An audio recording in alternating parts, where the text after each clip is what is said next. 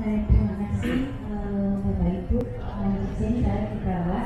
Eh, Saya mewakili eh, sebagai user ya. Sebenarnya kalau saya lihat di sini beberapa Bapak Ibu dekan juga sudah ada yang membeli alat ini dari Java Medica atau mungkin juga dari eh, supplier yang lain. Hanya memang yang pertama eh, membeli dulu adalah dari tempat kami dari Universitas Ahmad Dahlan. Nah, saya sebenarnya alat ini lebih enak untuk didemokan, tapi karena tadi alasan dari uh, pihak Java Medica resolusinya kurang kuat, maka mungkin ini nanti akan menggunakan spot-spot waktu, ya.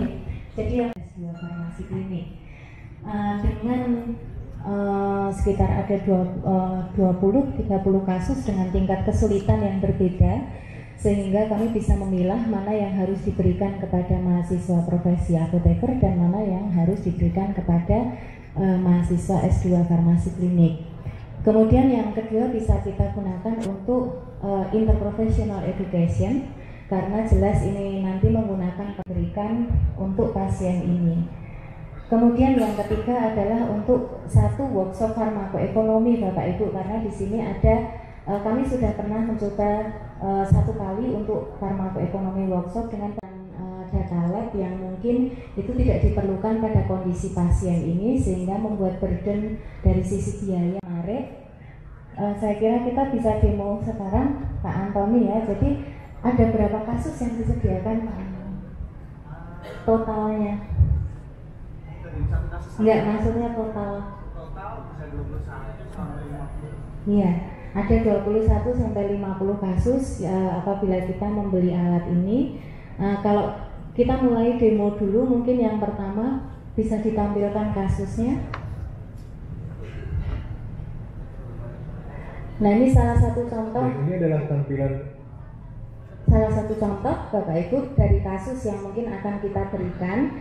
Ada eh, kita menunjukkan di situ ada pak nama pasien dengan eh, usia tinggi badan berat badan eh, bisa kembali lagi ya.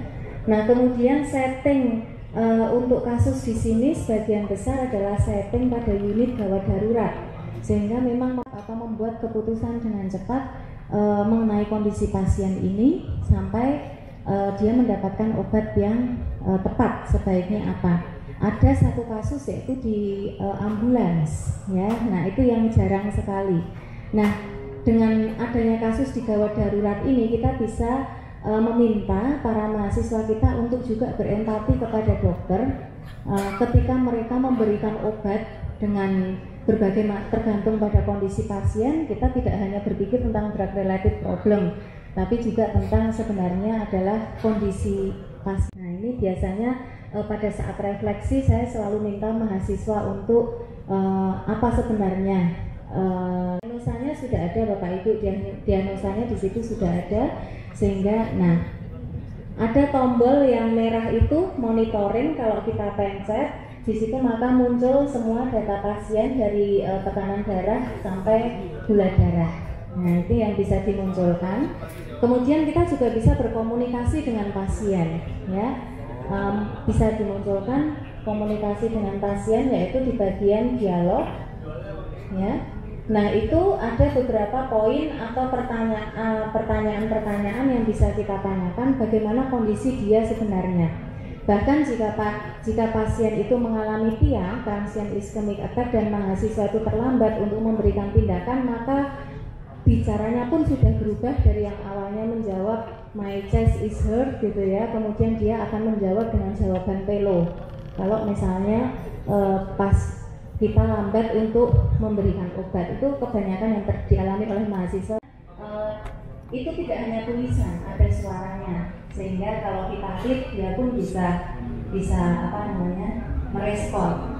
Kalaupun dia tidak bisa merespon, Bapak Ibu, nafas itu bisa kelihatan dari dadanya yang naik turun dan juga keringat yang muncul.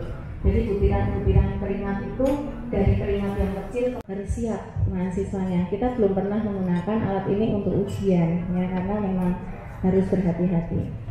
Seringnya mahasiswa, mahasiswa itu menambahkan masalah kalau dari pengalaman kami adalah kelebihan dosis atau kelebihan obat pada hipertensi, anti hipertensi dan eh, kondisi pasien seperti shock hipotensi atau shock hipoglikemi ya dan juga kemudian pemberian oksigen yang uh, kurang tepat sehingga biasanya hipoksia menjadi severe hipoksia atau uh, muncul lagi untreated indicationnya adalah uh, tachypnea. Nah kondisi-kondisi seperti itu yang memang Dharma sepertinya juga sudah membeli alat ini mungkin juga punya pengalaman yang uh, berbeda.